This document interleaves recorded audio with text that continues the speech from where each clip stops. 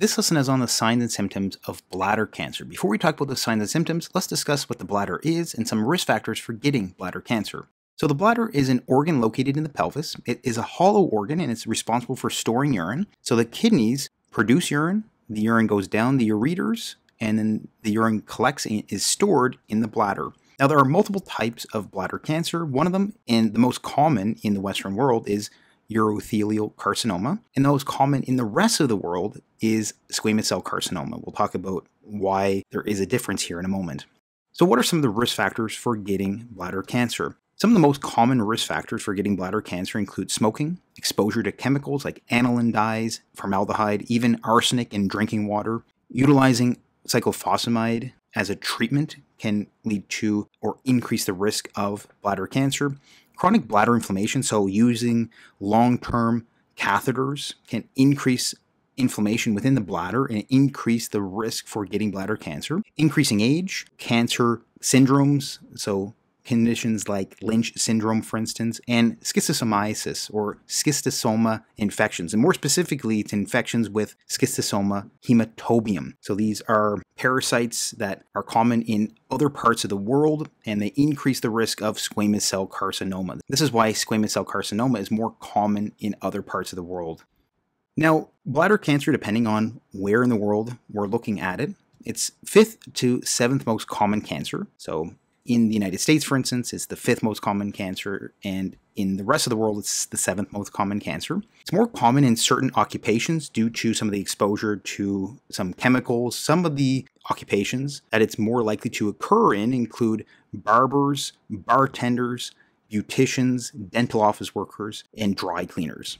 Now, the male to female ratio for bladder cancer is 4 to 1, so for every four males, there's one female with bladder cancer, and it's twice as likely in Caucasians compared to other groups. And as we mentioned before, increasing age is a risk factor, so we're going to see this cancer occurring in those over 60, especially in those over 70. Now let's discuss some of the signs and symptoms of bladder cancer. By far, the most common and classic symptom of bladder cancer is hematuria. So this is going to be the most common sign of bladder cancer. It's going to be blood in the urine. That's what hematuria means. It's either going to be gross or microscopic, but most of the time it's going to be gross. Gross hematuria, meaning that when you urinate, you actually see blood in your urine. You're going to see the toilet bowl full of blood. It's going to be painless, so there's no pain involved.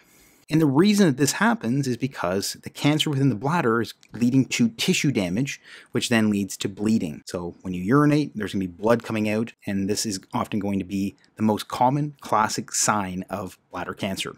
And this is so common, in fact, that this occurs in 80 to 90% of patients with bladder cancer. And a lot of patients who have gross hematuria, for instance, need to have a checkup to ensure that they don't have bladder cancer. Now, some other symptoms that we can see with bladder cancer include lower urinary tract symptoms, so these are considered irritative bladder symptoms. These include urinary frequency, urinary urgency, and dysuria. So urinary frequency is needing to frequently use the washroom or frequently urinate, and it's often going to be very small volumes of urine. So it's not about actually needing to urinate, it's just there's irritation of the bladder, making you feel like you have to urinate, and you'll go and urinate, and it'll just be small volumes of urine. Urinary urgency, so sometimes you'll just feel an urgent need to urinate. And dysuria is going to be a burning sensation or a painful sensation when urinating. So these can appear like a urinary tract infection, but a lot of times patients will also have hematuria, that blood in their urine. So that's going to be something that helps to distinguish between urinary tract infections, for instance. This is going to be due to cancer within the bladder causing irritation. About 20 to 30% of patients that have bladder cancer will have lower urinary tract symptoms. So it's important to note that this is going to be unexplained lower urinary tract symptoms. So a clinician might think that this is a urinary tract infection. They might do a urinalysis, but there's no sign of any infection. And also, if there has been treatments for potential UTI, the symptoms don't improve. So these are some findings with regards to these potential lower urinary tract symptoms in bladder cancer. We can also see pelvic pain as well. So pelvic pain is going to be pain in the pelvis. So it could feel like a pressure, fullness, or a bony pain is going to be due to a growing bladder cancer is often going to be more in an advanced stage. We can also see flank pain as well. Flank pain is going to be pain on the sides of the abdomen. This is often, again, going to be due to that growing mass and it leads to a referred pain.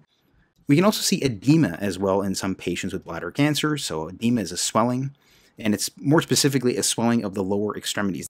Now, the reason that this happens is because if there's a mass from the bladder that's growing too much, if it grows too large, it can start to impinge and block some of this lymphatic drainage, leading to a backup of that lymphatic fluid. And then we can get a spilling out of the fluid into the lower extremity. So it could be one sided or it could be both sided. So one leg or both legs may be affected. We can also have a pelvic mass in some patients. So in some patients, it may be palpable, so you might actually feel it, although this is going to be more rare. And this again is due to growth of the mass. So we can just get a big mass that starts to grow. It may become so large, or depending on the position, it may become palpable or may be able to be felt. Again, this is going to be something that occurs in advanced disease. We can also see constitutional symptoms in bladder cancer as well. So, constitutional symptoms are going to be some vague symptoms you may not think that are related to bladder cancer, but they are. They're related to many different types of cancer. One of them is weight loss. So, this weight loss is going to be unexplained and unintentional. Unexplained meaning that we don't have a a reason for why you might be losing weight. You just simply are unintentional. You're not trying to lose weight. You just are losing weight. This is going to be due to increased inflammatory cytokines. So because of that, cancer is going to be increased inflammation. There's increased inflammatory cytokines. And these include TNF alpha and interleukin 6. These particular cytokines will lead to a breakdown of fat and muscle, and this can lead to muscle wasting. And some other causes may include a reduced appetite. And Another important finding can be fatigue. So fatigue is less energy. It's going to be also due to increased inflammatory cytokines. Again, TNF alpha, interleukin 6, interleukin 1. These can all lead to fatigue and the patient can feel quite tired out. What is also important to point out here too though is that it may be related to iron deficiency anemia because there's gross hematuria, that blood loss from the bladder. So when you're urinating, you see blood, you're losing blood. If this continues for long periods of time, or if the blood loss is severe enough, we can start to get a depletion of our iron and we can get iron deficiency anemia. This can also lead to fatigue and some other symptoms and signs of iron deficiency anemia as well. If you found this lesson helpful, please like and subscribe for more lessons like this one. Please consider also joining as a member for members only content. Thanks for watching and hope to see you next time.